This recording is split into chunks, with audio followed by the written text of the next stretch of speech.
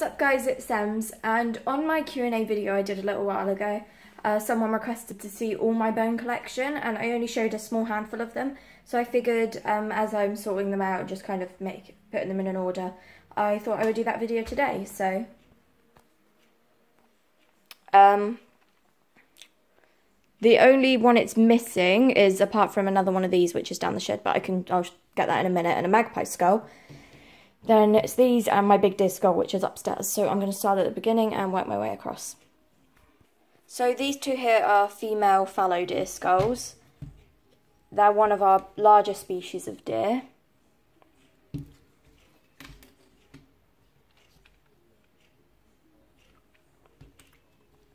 And moving on, this here, when we found it, we didn't actually know what this one was from. We kind of thought it could be from a deer, and then I noticed that here had been sliced. This here is actually a pig skull. So yeah, that's definitely my most random find out of all these. Um, I am interested in skulls, but if they're like, if it was like a dog skull or something, I wouldn't be as interested. But I thought I'd bring this one back anyway, because it was definitely a different one. Then, oh, I've also got some other skulls upstairs, but they're the same as these. So these three are badger skulls. This one's got some nice teeth on it. And then this one's got the jaw, but no canines. These two here are pigeon skulls.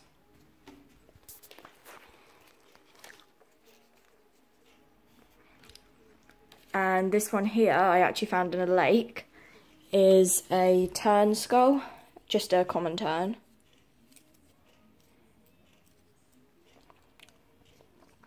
This one here is a rat skull that I found in the woods a little while ago. It's got some cute little teeth back there. Focus, focus. Uh, this one here is a hedgehog skull. It's not one of mine, don't worry. Um, and I can't actually remember where I found this one. I think I found it on the edge of a road. And got some cool teeth there. This here is a rook skull. It's actually quite big. It's a lot bigger than I would expect.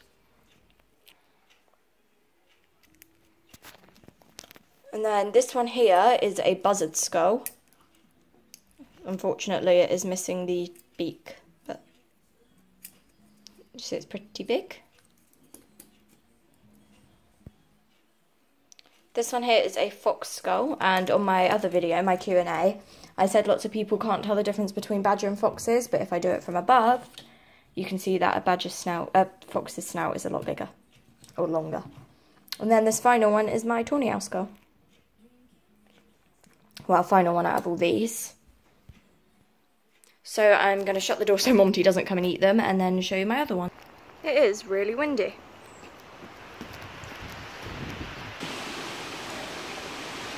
So here you can actually see two of the hedgehogs, the other one's in the corner.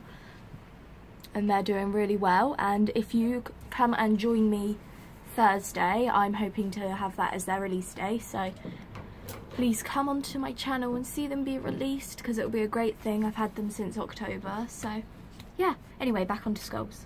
This here is another fallow deer skull that my mum found the other day. Uh, this one's definitely bigger than my other two quite well, it's quite clearly a really old one but and then this skull is mucky which is why it's not inside is what looks like a magpie skull. So yeah those are my grubbier skulls.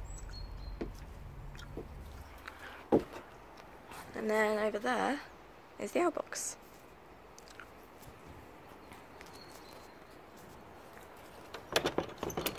I really like this so anyway guys, thanks for watching. Please make sure to comment, like and subscribe and join me Thursday for the release of the hedgehogs. Thanks for watching. Bye.